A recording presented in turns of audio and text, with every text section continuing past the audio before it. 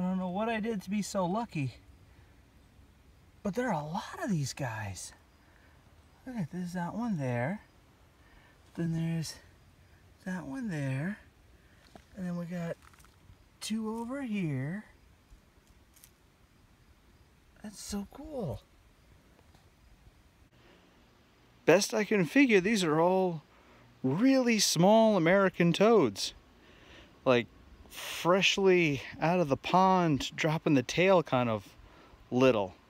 But there's hundreds of them. And that's making my walk a little harder. Huh.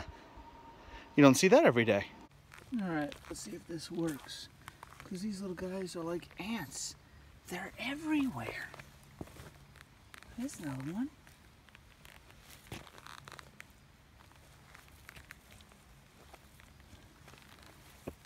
There's two more.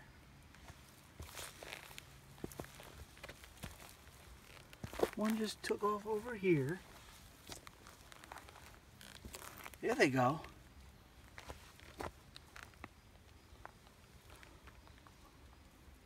There's got to be hundreds of them. Did I say hundreds? I think I'm approaching thousands. Sheesh. There's even more of them. Let's see, there goes, there goes a few.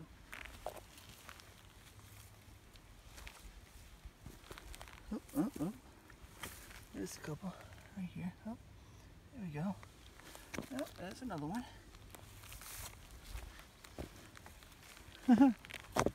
I'm used to dodging these guys in the fall. Well, they're bigger then. There's one. Like crickets. I mean, it makes sense that there's so many of them. They lay so many eggs in the hope of at least one of them survives. So, it's not all that strange to find them. I've just never done it before. It's amazing. As I'm doing this, I'm looking down and watching hundreds of these things running away from me. Like I'm Godzilla terrorizing Tokyo.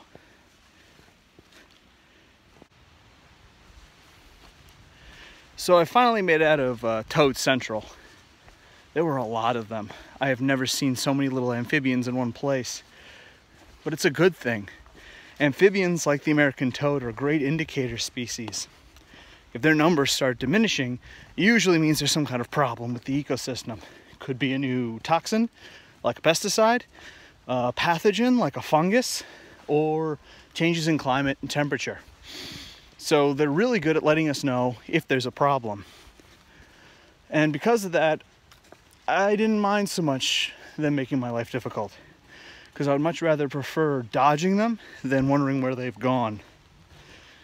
So until next time, I'll see you on the trail. Peace.